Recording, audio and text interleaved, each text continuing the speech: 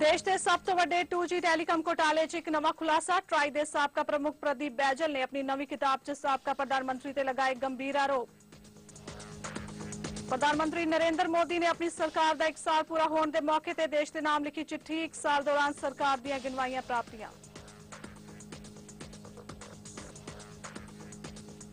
ਪੰਜਾਬ ਸਰਕਾਰ ਵੱਲੋਂ ਹਜ਼ਾਰਾਂ ਲੋਕਾਂ ਨੂੰ ਵੱਡੀ ਰਾਹਤ, ਜਾਇਦਾਦ ਦੀ ਵਿਕਰੀ ਤੇ ਕਬਜ਼ੇ ਦੇ ਤਬਾਦਲੇ ਲਈ ਨਹੀਂ ਲੱਗੇਗੀ ਕੋਈ ਰਜਿਸਟਰੀ ਫੀਸ।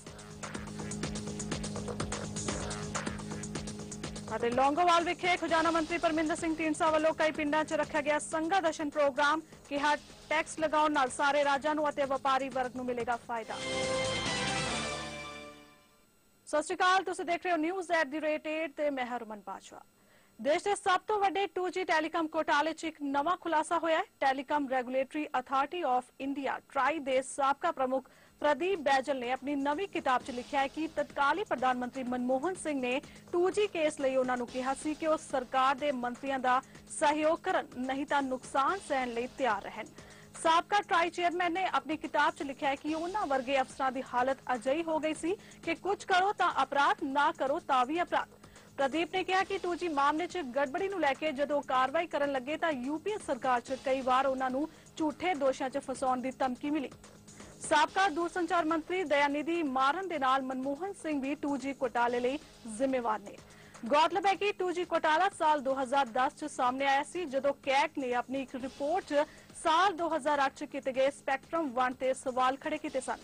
ਕੈਕ ਅਨੁਸਾਰ ਇਸ ਘੋਟਾਲੇ ਕਾਰਨ ਸਰਕਾਰੀ ਖਜ਼ਾਨੇ ਨੂੰ 1,76,000 ਕਰੋੜ ਰੁਪਏ ਦਾ ਨੁਕਸਾਨ ਹੋਇਆ।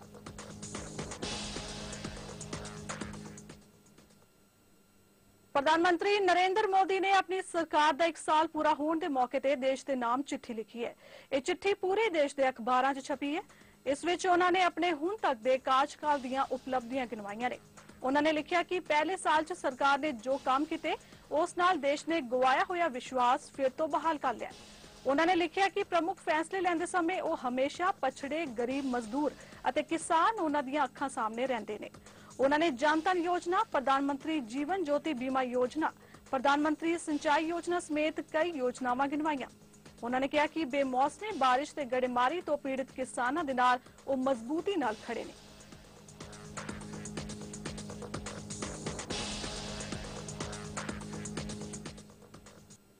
ਦਿੱਲੀ ਵਿਧਾਨ ਸਭਾ ਦਾ ਵਿਸ਼ੇਸ਼ ਇਜਲਾਸ ਸ਼ੁਰੂ ਹੋ ਚੁੱਕਿਆ ਹੈ। ਵਿਧਾਨ ਸਭਾ ਦੇ ਇਜਲਾਸ ਦੌਰਾਨ ਐਮਐਚਏ ਦੇ ਨੋਟੀਫਿਕੇਸ਼ਨ ਤੇ ਵਿਸ਼ੇਸ਼ ਚਰਚਾ ਹੋਵੇਗੀ।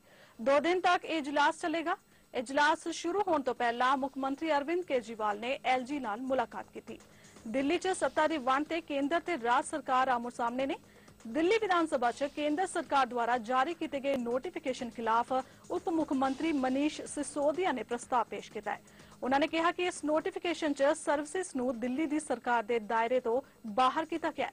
ਗ੍ਰਹਿ ਮੰਤਰਾਲੇ ਦਾ ਆਦੇਸ਼ ਸੰਵਿਧਾਨ ਦਾ ਉਲੰਘਣ ਹੈ। ਸਿਸੋਦੀਆ ਨੇ ਕਿਹਾ ਕਿ ਦਿੱਲੀ 'ਚ ਆਮ ਆਦਮੀ ਪਾਰਟੀ ਦੀ ਸਰਕਾਰ ਬਣਨ ਤੋਂ ਬਾਅਦ ਭ੍ਰਿਸ਼ਟਾਚਾਰ ਤੇ ਰੋਕ ਲੱਗੀ ਹੈ ਸਦਨ 'ਚ ਸਿਸੋਦੀਆ ਦੇ ਪ੍ਰਸਤਾਵ ਦਿੱਤੇ ਜਾਣ ਤੋਂ ਬਾਅਦ ਵਿਧਾਨ ਸਭਾ ਸਪੀਕਰ ਨੇ ਮੈਂਬਰਾਂ ਦੀ رائے ਲਈ ਅਤੇ ਪ੍ਰਸਤਾਵ ਨੂੰ ਚਰਚਾ ਲਈ ਸਵੀਕਾਰ ਕਰ ਲਿਆ में बहुमत प्राप्त दिल्ली सरकार के दायरे से बाहर कर दिया गया है एक तरफ तो दिल्ली की सरकार इस विधानसभा से बहुमत प्राप्त सरकार दिल्ली में भ्रष्टाचार को कम करने की कोशिश कर रही है उसको रोक रही है दूसरी तरफ दिल्ली सरकार की इन कोशिशों को सरकार एक अधिसूचना को रोकने की कोशिश कर रही है। मैं यहाँ विशेष रूप से उल्लेख करना चाहता हूँ कि दिल्ली सरकार के अधीन आने वाला जो दिल्ली सरकार की एंटी करप्शन ब्रांच है, उसके अधिकारियों ने पिछले कुछ दिनों में अभूतपूर्व काम किया है। दिल्ली में भ्रष्टाचार का रुकना केंद्र में बैठी हुई सरकार को राहत नहीं आ रहा है। ये सहन नहीं हो रहा है। अब क्या इंटरेस्ट है उनके क्या नहीं है मैं तो टिप्पणी करूंगा तो यहाँ सदन में बैठे हुए सदस्यों को अच्छा नहीं लगेगा ਲੌਂਗੋਵਾਲ ਵਿਖੇ ਖਜ਼ਾਨਾ ਮੰਤਰੀ ਪਰਮਿੰਦਰ ਸਿੰਘ ਢੀਂਡਸਾ ਵੱਲੋਂ ਜ਼ਿਲ੍ਹਾ ਅਧਿਕਾਰੀਆਂ ਨੂੰ ਨਾਲ ਲੈ ਕੇ ਕਈ ਪਿੰਡਾਂ ਦੀਆਂ ਪੰਚਾਇਤਾਂ ਨਾਲ ਸੰਗਤ ਦਰਸ਼ਨ ਪ੍ਰੋਗਰਾਮ ਕੀਤਾ ਗਿਆ ਪੱਤਰਕਾਰਾਂ ਨਾਲ ਗੱਲਬਾਤ ਕਰਦਿਆਂ ਉਹਨਾਂ ਕਿਹਾ ਕਿ ਸੰਗਤ ਦਰਸ਼ਨ ਕਰਨ ਨਾਲ ਆਮ ਜਨਤਾ ਦਾ ਸਮਾਂ ਬਚਦਾ ਹੈ ਅਤੇ ਪਬਲਿਕ ਨੂੰ ਮੌਕੇ ਤੇ ਆਪਣੀ ਸਮੱਸਿਆ ਦਾ ਹੱਲ ਜਲਦੀ ਮਿਲਦਾ ਹੈ। ਪੰਜ ਰਾਜਾਂ ਦੇ ਲਗਾਏ ਗਏ ਟੈਕਸ ਬਾਰੇ ਪੁੱਛੇ ਗਏ ਸਵਾਲ ਬਾਰੇ ਮੰਤਰੀ ਨੇ ਕਿਹਾ ਕਿ ਇਹ ਟੈਕਸ ਲਗਾਉਣ ਨਾਲ ਸਾਰੇ ਰਾਜਾਂ ਨੂੰ ਅਤੇ ਵਪਾਰੀ ਵਰਗ ਨੂੰ ਫਾਇਦਾ ਹੋਵੇਗਾ। ਇਸ ਮੌਕੇ ਇਲਾਕੇ ਦੀਆਂ ਪੰਚਾਇਤਾਂ ਨੂੰ ਕੰਮਕਾਜਾਂ ਲਈ ਲੱਖਾਂ ਰੁਪਏ ਦੀਆਂ ਗ੍ਰਾਂਟਾਂ ਵੀ ਦਿੱਤੀਆਂ ਗਈਆਂ ਅਤੇ ਬਹੁਤ ਸਾਰੀਆਂ ਅਰਜ਼ੀਆਂ ਦਾ ਮੌਕੇ ਤੇ ਹੀ ਨਿਪਟਾਰਾ ਕੀਤਾ ਗਿਆ। ਇਹ ਜਿਹੜਾ ਪ੍ਰੋਗਰਾਮ ਕੀਤਾ ਜਾ ਰਿਹਾ ਹੈ ਤੇ ਸਾਡੀ ਕੋਸ਼ਿਸ਼ ਹੈ ਵੀ ਜੋ ਵੀ ਲੋਕਾਂ ਦੀਆਂ ਸਮੱਸਿਆਵਾਂ ਨੇ, ਭਾਵੇਂ ਕਿਸੇ ਦੀ ਆਟਾ ਦਾ ਸਕੀਮ ਦੀ ਹੈ, ਕਿਸੇ ਦੀ ਪੈਨਸ਼ਨ ਦੀ ਹੈ, ਕਿਸੇ ਦੀ ਸ਼ਗਨ ਸਕੀਮ ਦੀ ਹੈ ਛੋਟੀ ਛੋਟੀਆਂ ਸਮੱਸਿਆਵਾਂ, ਕੋਈ ਪੰਚਾਇਤਾਂ ਦੀਆਂ ਸਮੱਸਿਆਵਾਂ ਨੇ, ਉਹਨਾਂ ਨੂੰ ਮੌਕੇ ਤੇ ਹੀ ਜਿਹੜਾ ਹੱਲ ਕੀਤਾ ਜਾਵੇ। ਤੇ ਇਹ ਜਿਹੜਾ ਹੈ, ਬਹੁਤ ਹੀ ਮੈਂ ਸਮਝਦਾ ਲੋਕ ਵੀ ਇਹ ਚਾਹੁੰਦੇ ਨੇ ਕਿ ਐਸੇ ਪ੍ਰੋਗਰਾਮ ਜਿਹੜੇ ਨੇ ਉਹ ਆਯੋਜਿਤ ਕੀਤੇ ਜਾਣ। ਪੰਜਾਬ ਸਰਕਾਰ ਵੱਲੋਂ ਇੱਕ ਅਹਿਮ ਲੋਕ ਪੱਖੀ ਫੈਸਲੇ ਤਹਿਤ ਪਤੀ ਪਤਨੀ ਅਤੇ ਖੂਨ ਦੇ ਰਿਸ਼ਤਿਆਂ ਦਰਮਿਆਨ ਜਾਇਦਾਦ ਦੇ ਤਬਾਦਲੇ ਤੇ ਸ਼ਹਿਰੀ ਅਤੇ ਪੇਂਡੂ ਖੇਤਰਾਂ ਵਿੱਚ ਲੱਗਣ ਵਾਲੀ ਰਜਿਸਟਰੀ ਫੀਸ ਨੂੰ ਪੂਰੀ ਤਰ੍ਹਾਂ ਖਤਮ ਕਰ ਦਿੱਤਾ ਗਿਆ ਹੈ। ਜਿਸ ਨਾਲ ਹਜ਼ਾਰਾਂ ਲੋਕਾਂ ਨੂੰ ਵੱਡੀ ਰਾਹਤ ਮਿਲੇਗੀ। ਮਾਲ ਮੰਤਰੀ ਵਿਕਰਮ ਸਿੰਘ ਮਜੀਠੀਆ ਨੇ ਕਿਹਾ ਕਿ ਇਹ ਫੈਸਲਾ ਰਾਜ ਸਰਕਾਰ ਦੀ ਇਸ ਮਨਸ਼ਾ ਤਹਿਤ ਲਿਆ ਗਿਆ ਹੈ ਕਿ ਲੋਕਾਂ ਨੂੰ ਆਪਣੀਆਂ ਜਾਇਦਾਦਾਂ ਦੀ ਕਾਨੂੰਨੀ ਢੰਗ ਨਾਲ ਰਜਿਸਟ੍ਰੇਸ਼ਨ ਲਈ ਉਤਸ਼ਾਹਿਤ ਕੀਤਾ ਜਾਵੇ। ਤਾਂ ਜੋ ਪਰਿਵਾਰਾਂ ਅੰਦਰ ਜਾਇਦਾਦਾਂ ਨੂੰ ਲੈ ਕੇ ਕਿਸੇ ਤਰ੍ਹਾਂ ਦੇ ਵਿਵਾਦ ਖੜੇ ਨਾ ਹੋਣ। ਉਨ੍ਹਾਂ ਕਿਹਾ ਕਿ ਪੰਜਾਬ ਸਰਕਾਰ ਦੇ ਇਸ ਲੋਕਪੱਖੀ ਫੈਸਲੇ ਲਈ ਉਪ ਮੁੱਖ ਮੰਤਰੀ ਸੁਖਬੀਰ ਸਿੰਘ ਬਾਦਲ ਵੱਲੋਂ ਵੀ ਮਾਰਗਦਰਸ਼ਨ ਕੀਤਾ ਗਿਆ ਹੈ। ਰਾਜ ਸਰਕਾਰ ਨੇ ਇੱਕ ਹੋਰ ਵੱਡਾ ਫੈਸਲਾ ਲੈਂਦਿਆਂ ਜਾਇਦਾਦਾਂ ਦੀ ਵਿਕਰੀ ਅਤੇ ਤਬਾਦਲੇ ਦੇ ਮੰਤਵ ਲਈ ਦਿੱਤੇ ਜਾਂਦੇ ਮੁਖਤਿਆਰਨਾਮੇ ਨੂੰ ਦਰਜ ਕਰਾਉਣ ਤੇ ਲੱਗਦੀ ਅਸ਼ਟਾਮ ਡਿਊਟੀ ਨੂੰ ਸਹੀ ਮਾਇਨੇ ਵਿੱਚ ਸਿਫਰ ਪੈਸੇ ਤੇ ਲਿਆ ਦਿੱਤਾ ਹੈ। ਕਿਉਂਕਿ ਜਿੱਥੇ ਮੌਜੂਦਾ 2% ਦੀ ਦਰ ਨੂੰ ਘਟਾ ਕੇ 0.5% ਦੀ ਕਰ ਦਿੱਤਾ ਗਿਆ ਹੈ, ਉੱਥੇ ਉਕਤ ਰਕਮ ਵੀ ਅੱਗੇ ਸੰਬੰਧਿਤ ਜਾਇਦਾਦ ਦੀ ਵਿਕਰੀ ਡੀਡ ਮੌਕੇ ਅਦਾ ਕੀਤੀ ਜਾਣ ਵਾਲੀ ਅਸ਼ਟਾਮ ਡਿਊਟੀ ਵਿੱਚ ਐਡਜਸਟ ਕੀਤੀ ਜਾਵੇਗੀ। ਬਾਕੀ ਮੁਖਤਿਆਰਨਾਮਿਆਂ ਤੇ ਅਸ਼ਟਾਮ ਡਿਊਟੀ 2000 ਰੁਪਏ ਹੀ ਰਹਿ ਜਾਏਗੀ।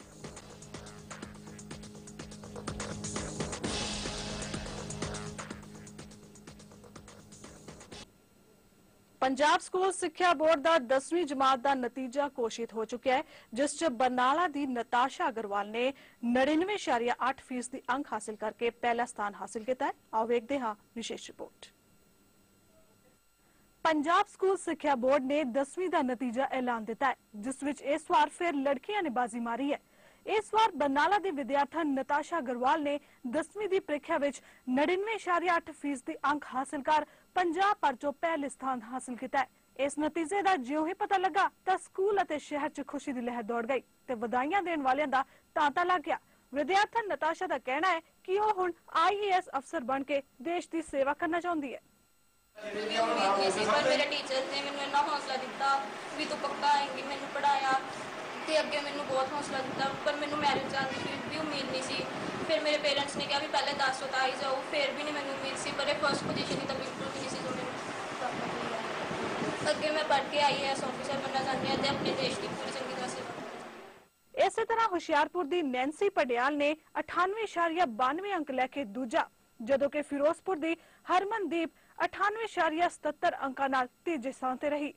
ਦੂਜੇ ਪਾਸੇ ਸਪੋਰਟਸ ਕੋਟੇ 'ਚ ਜ਼ਿਲ੍ਹਾ ਫਿਰੋਜ਼ਪੁਰ ਦੀ ਨਮਰੀਤ ਕੌਰ ਨੇ ਪਹਿਲਾ ਲੁਧਿਆਣੇ ਦੇ ਸ਼ਿਵਲ ਕੁਮਾਰ ਨੇ ਦੂਜਾ ਅਤੇ ਮੋਗਾ ਦੀ ਕਿਰਨਦੀਪ ਕੌਰ ਨੇ ਤੀਜਾ ਸਥਾਨ ਪ੍ਰਾਪਤ ਕੀਤਾ ਹੈ Now I am feeling very happy because I have achieved first position in a in a state Punjab and uh, I dedicate my this position to my very cooperative parents and my very cooperative staff and uh, regarding my future plan I want to be an IPS officer.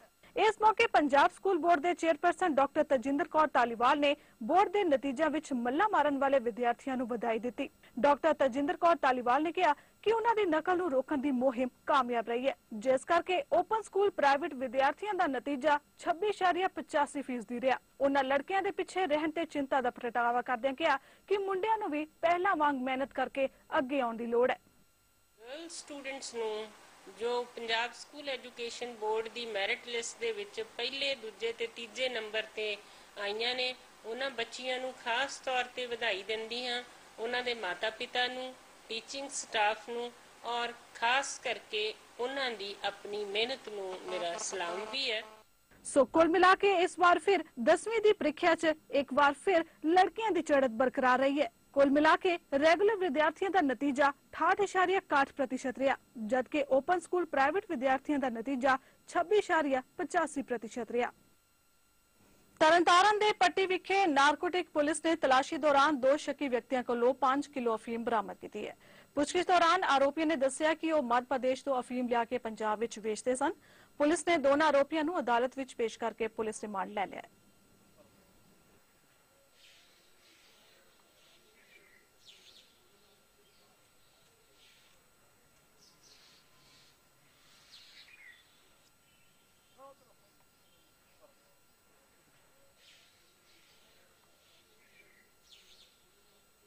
ਚੌਕ ਨਾਕਾ ਲਾਇਆ ਸੀ। ਦੌਰਾਨੇ ਨਾਕਾਬੰਦੀ, ਇਹ ਦੋਨੋਂ ਬੰਦੇ ਜਿਹੜੇ ਆਏ ਆ, ਇਹਨਾਂ ਦੇ ਕੋਲੋਂ ਜਿਹੜੀ ਆ ਉਹ 5 ਕਿਲੋ ਬੀਮ ਬਰਾਮਦ ਹੋਈ ਹੈ। ਪਰਚਾ ਦਰਜ ਕਰਕੇ ਅਗਲੀ ਤਫਤੀਸ਼ ਅਮਲ ਵਿੱਚ ਲੈਂਦੀ ਜਾ ਰਹੀ ਆ। ਇਹਨਾਂ ਕੋਲ ਪੁੱਛਗਿੱਛ ਕੀਤੀ ਜਾ ਰਹੀ ਆ। ਹੋ ਸਕਦਾ ਸਰਾਗ ਮਿਲਦਾ ਵੀ ਇਹਨਾਂ ਕੋਲ ਹੋਰ ਵੀ ਬਰਾਮਦਗੀ ਹੋ ਸਕਦੀ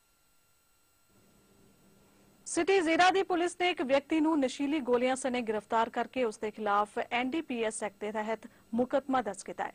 ਪੱਤਰਕਾਰਾਂ ਨਾਲ ਗੱਲਬਾਤ ਕਰਦਿਆਂ ਥਾਣਾ ਸਿਟੀ ਜ਼ੀਰਾ ਦੇ ਇੰਚਾਰਜ ਇੰਸਪੈਕਟਰ ਪਰਮਜੀਤ ਸਿੰਘ ਨੇ ਜਾਣਕਾਰੀ ਦਿੰਦਿਆਂ ਦੱਸਿਆ ਕਿ ਐਸਆਈ ਭਗਵਾਨ ਸਿੰਘ ਸਮੇਤ ਪੁਲਿਸ ਪਾਰਟੀ ਸ਼ੱਕੀ ਪੁਰਸ਼ਾਂ ਦੀ ਤਲਾਸ਼ ਵਿੱਚ ਪਿੰਡ ਮਨਸੂਰ ਦੇਵਾ ਵਿਖੇ ਗਸ਼ਤੇ ਸਨ ਕਿ ਨੇੜੇ ਸੂਆ ਪੁਲ ਮਨਸੂਰ ਦੇਵਾ ਦੇ ਕੋਲ ਇੱਕ ਸ਼ੱਕੀ ਵਿਅਕਤੀ, ਜਿਸ ਦੇ ਕੋਲ ਇੱਕ ਲਿਫਾਫਾ ਸੀ, ਨੂੰ ਕਾਬੂ ਕਰਕੇ ਲਿਫਾਫੇ ਦੀ ਤਲਾਸ਼ੀ ਲਈ ਗਈ। ਤਾਂ ਉਸ ਵਿੱਚੋਂ 640 ਨਸ਼ੀਲੀ ਗੋਲੀਆਂ ਬਰਾਮਦ ਹੋਈਆਂ। ਪੁਰਾਣੇ ਨਾਕਾਬੰਦੀ ਰਜੀਵ ਕੁਮਾਰ ਪੁੱਤਰ ਸੁਰਿੰਦਰ ਕੁਮਾਰ ਨੂੰ ਰਾਨੀ ਗਸ਼ਤ ਨਸ਼ੀਲੀਆਂ ਗੋਲੀਆਂ ਸਹਿਤ ਜਿਹੜਾ ਗਾ ਪਕੜਿਆ ਗਿਆ। ਉਸ ਦੇ ਤਹਿਤ ਐਨਡੀਪੀਐਸ ਦਾ ਮੁਕੱਦਮਾ ਦਰਜ ਕਰਕੇ ਅਗਲੀ ਕਾਰਵਾਈ ਅਮਲ ਵਿੱਚ ਲਿਆਂਦੀ ਗਈ ਹੈ। ਫਿਲਹਾਲ ਇਸ ਬੁਲਟਨ ਚ ਇੰਨਾ ਹੀ ਤੇ ਹੁਣ ਤੁਸੀਂ ਦੇਖੋਗੇ